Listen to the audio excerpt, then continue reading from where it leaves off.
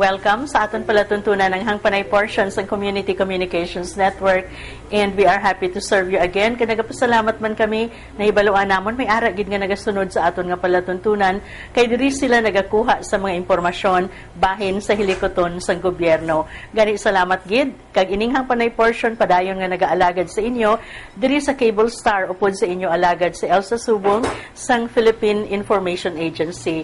Sa karon nga panahon ginakinahanglan gid sa ngaton nga mga pumuluyo. Labi na gid mga empleyado sa gobyerno nga mahatagan kita sa nagakaigo nga mga gabay, nagakaigo nga mga procedures, sa nagakaigo nga mga policies. Lakip na ang nagakaigo nga mga pamatasan agud tumabatsyagan sa ngaton nga mga pumuluyo ang matarong kag maayo kag efficient nga pagserbisyo. Isa sa mga tika nga ini ginahatag sa aton sang Civil Service Commission nga ginadala naman namon diri sa sini nga edisyon sang hangpanay portion sang Community Communications Network. Kag sa amon nga pagpanumbalik mangin kaupod naton sa gihapon si Director Rodolfo Incahionado sang Civil Service kag pagatalakayon naton ang ginatawag nga SALN. Namatarong ko na naka-eskwela. Kinamatarong ko ang ikaayong lawas. Paagi sa supplementary feeding. Kinabuligan kami isang DSWD na may sulod ang among tiyan. O naka-eskwela. Pag kami may napagsik.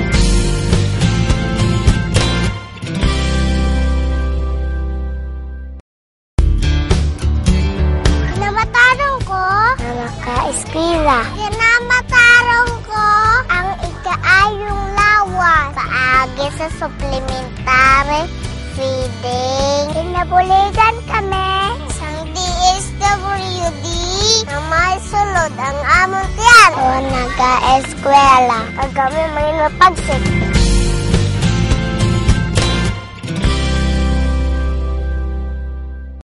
Now we're back. Diri sa aton palatuntunan ng Hangpanay Portions ng Community Communications Network. And we're happy to have here not only the Regional Director of the Civil Service Commission but at the same time, Presidente na siya sang Regional Association of National Government agencies diri sa Western Visayas. And for that, we congratulate Director Incahonado. Kag gina-congratulate man siya, naton siya sa mabakas nga mga pagtinguha agod ang aton mga empleyado sa gobyerno mahatagan sa nagakaigo nga mga gabay agod kami tanan mangin efficient, mangin transparent. And I will always remember that kami tanan magatinguha to become uh, lingkod bayani. Sir, welcome sa Palatuntunan. How are you? Maayong aga, Elsa. And uh, uh, we in the Civil Service Commission would like to express our sincere appreciation and thanks for giving us once again this opportunity to be with your popular program, the Ahang Panay portion. Of course, kapasalamat man kami sa CCN sa kahigayunan ni sa pagtalakay sang isa ka importante nga topiko nga natawag naton SALN or Statement of Assets, Liabilities and Net, worth. Okay, sir. Manami man ini nga ano no nga sistema nga para pirmi naton ginahatagan sa pag tal, igtalupangod ining salin. Kay sa mga nagliligad daw wala lang ini no. Bisan sa amon nga mga empleyado kung kaisa maka-fill up lang kita sini maka-submit, it's okay but we never understood fully well siguro kung ano gid bala ang kahalagahan sining salin. Now sir, ang Civil Service Commission may ara memorandum circular number 2 series of 2013 and this is the revised salin. Um, uh, sir, uh, ano ang content sining memo naton? Actually, ang MC3 nagapahayag sang ginpagwa nga resolution sang Civil Service Commission, CSC Resolution 1300174 dated January 24, 2013 wherein nga ang komisyon nagdeklarar nga may bag-o nga porma Okay. nga SALN no? Uh, 20, actually it's 2012 asal and form wherein gina-require ang tanan nga mga empleyado sang gobyerno, opisyales, no, kag mga empleyado elected or appointive nga amo na ila usaron nga form for their 2012 state as statement of assets, liabilities and net worth. Now, uh, we're saying it is revised. Sir, may nauna kita nga nga forma is ang SALN, no? Actually, How may long have it been used by the employees? Yes, may may previews kita nga sa LN. In fact, th- I think mga tatlo na gani, no? Ang recent nga before the new SALN, mo ng 2011 SALN naton, kag ah, damo ato requirement kay kang ginusar nga legal basis for the form is RA 3019 or the Anti-Graft and Ah, Corrupt Practices okay. Act as well as RA 6713 or the um, nung aton nga um, Code of Conduct and Ethical Standards for Public Officials and Employees. But because of uh, issues more particularly ang mga bagay nga gina question sa mga ibang sekta sa government. More particularly uh, workers, no? And um, even the Senate and Congress also have some issues and concerns on the 2011 SALN form.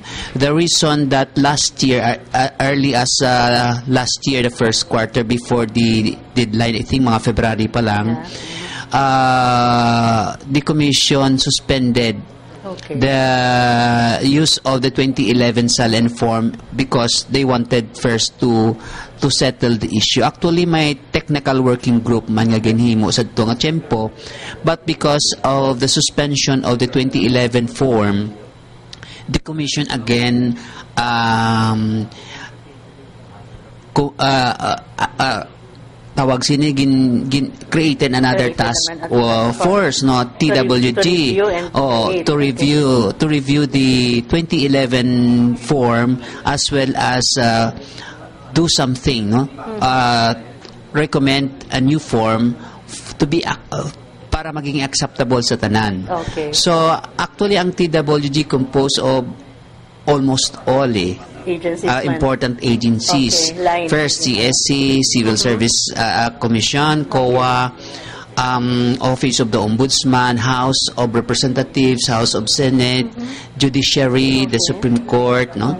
And uh, I think DBM, and damo pa nga mga ahensyas ang gobyerno. And um, we are glad that uh, before the close of 2012, they were able to come up with the form nga muna ni Subong ang ginapa-implementar sang Civil Service Commission Okay. through Resolution 1300174. Okay. Uh, kag na issue ini sang January 24, 2012. But hopefully, this is um, a user-friendly uh, form. Why do you say user-friendly? Mas komplikado atong 2011? Yes, kaya ang This one 20... is simplified? Mas simple Okay. ini kaya ang sang una ginausar pa naton ang provision sang 3019 wherein gina-require nga ang declarant magbutang sang let's say sources of income ang expenses imagine mo the detailed expenses Detail, for the whole yeah. year tapos may ara nga isang um, gina-requirement sila no nga mabayad ka kung ano ang ginbayad ng mga mga Okay. buwis Aha. kag uh, may ban pa nga mga bagay nga mga gina-question nga sa tungod nga ginusa na lang naton ang RA 39 uh, 6713 or the Code of Conduct and Ethical Standards so ginpangkuha ato nga mga requirements Ah, okay. So ano ang guarantee naton, sir, nga ining revised na SALN form nga ini, daw makakapture gisan what what we want to to know, no? Halimbawa, as far as transparency in the assets and liabilities of a, a government employee. we hope nga ti- Kino amo ng issue pero may, no? Yes, so ti wala ano man ah, sa tutod lang no ah, before anything else nga magsabat ko sina ara na sa aton constitution nga those who enter government, Intergovernment service, service. are required to file their statement of assets, liabilities, and, net worth. Even before, even after makasign ka sa contract mo, Actually, you- oh, gina-require before, na diba? no, sa na kita. mhm. for you when you first enter government service and subsequently annually na siya Annually. no Ah, on or before April 30 dapat mag-file sang statement of assets liabilities and net worth Yeah. ang mga empleyado may exemption lang kita sa under sa new law Mm-hmm. ang mga those in honorary, honorary capacity ah, casual Mm-hmm. laborers no they are exempted from filing, Filing the the SALN. Okay. pero other than that tanan gid ma-file bali, no? okay. So amo na siya ang dapat nga naton imo nga, nga obligasyon nato na as government officials and employees because first gin require gid man na sang aton constitution. Yeah, we have to, no? yeah. We have to file it because purposes of transparency, no? Eh, Okay, and I think purposes man of sincerity in serving, no? Mm. Oo, Uh, kay ti- the government, no? And the people nga, hayag bala ang aton nga pagpangabuhi. Oh, uh, going to that term Okay, hayag, hayag, meaning it's okay. transparent. Yeah. Dapat we have to file a true, detailed, and akto ang Hmm. eksakto nga pag-file sang uh, aton assets, liabilities, and net worth. And by the way, ga-include ni siya sang declaration sang uh, business interest and financial Mm-hmm. connections as well as relatives within the fourth degree, Degree. of consanguinity or affinity to the best of their knowledge. Okay. Kaysa mo unaya Kasi wala mga sa kaupod mo nga nagatrabaho nga kilala mo, no? Oh, kaisa pa na- Related to you, di ba? Yes. Okay. Sa una, sir. Kaysa una ang concern ti paano na kay kung wala ko kaya kabalo. Mm. That's why nga ginbutang sa subong nga bago As nga far nga as to the know, best to of the their best of your knowledge. knowledge. Kay tituod man sala mo na imo kung Okay, sa Luzon o kung sa Mindanao may parente katoy nga wala kaya kabalo. Bisan gani sa Western Visayas or even sa pro Indeed, province lang. Sometimes hindi kanya kabalo nga may paryente kagali in Oo kay way man kamo yan nagahalubilo mo. Kag- na, isa man ina, sir. Kag wala kaya kabalo. Kaya kabalo. Magutod ganyang parents mo ay ka nakabalo kung sa isa ka probinsya may kaubra kaubra kay way ka mo ka reunion whatever di ba Gani, why man ka mo contact yan. Correct, uh, oh. ano, no? Ti, ti, basta to the best of your knowledge. Yes, oh. Okay. So, ano mga various parts sinang form nga, na, nga revised naton? Okay, sa kadamo actually sang gin Yung mga pagbago natin, bago. sir. For Aha. example, sa first part, no? Um ang SALN actually it's either a joint filing, separate Oo. filing or a single filing. Single filing. Maybe, So, no, so before you proceed, siguro pwede man nato na ma- ma-focus ang form nga na dira naton samtang si sir nagahambal na okay, sir oo. go ahead sir Mas please mayo gate siguro. Okay. Kaya ang sa joint filing na iya kon ara sila sa gobyerno, no, ang Mm-hmm, both spouses. But even if ara sila sa ipa-close lang siguro sa first part, gid bala Oo, sa babaw, first part. na dira Ah, na. okay. I-close gid i-close. Oo. Na, okay. So even oh, una una no joint filing nga ang nga joint filing na iya kung gusto nila nga gusto i-joint niya. filing nila no Mm-hmm. kay nga dira sila mismo nagaobra sa government either Okay. the same agency government agency o ah, For different- separate government separate. agencies pwede sila maka joint filing or pwede man sila ka separate filing pero ah ano ku- ang mas advisable sir Depende sa ila Depende kay because they are Okay. allowed or the given freedom to choose no. okay, sige. Ah, wala man nagsiling ang aton nga policy diri nga kinahanglan joint lead no. Mm-hmm. Kahit sometimes ah, may mga separation of Kung properties yeah, man kung mo. kayo sa ang spa, okay, government na yan, no? Ah, ah, Pero ah. sa hindi government na yung isa Okay. ka spouse, so pwede man na yung file dira, ang employed lang sa gobyerno. Ang naga-file lang niya ang empleyado sa Siyempre, gobyerno or okay. official sang